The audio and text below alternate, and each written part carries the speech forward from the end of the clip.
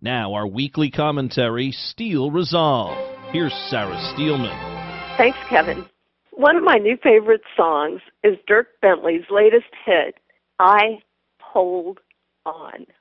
When I hear it, I feel inspired to fight hard for what really matters.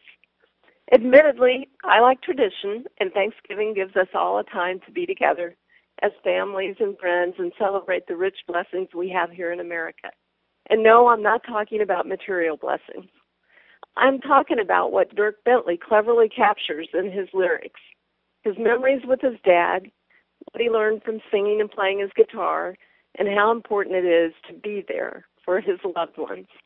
So I hold on to the things I believe in my faith, your love, our freedom, to the things I can count on to keep me going strong. I hold on.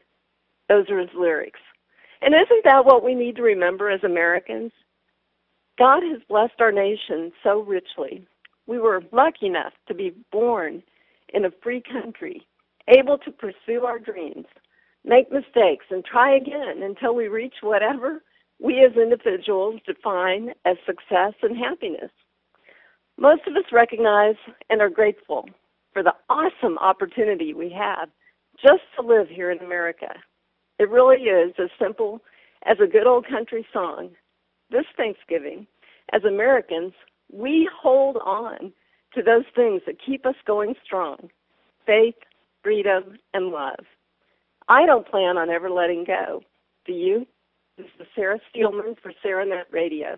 Tune in again next week for another segment of Steel Resolve right here on the Palin Update.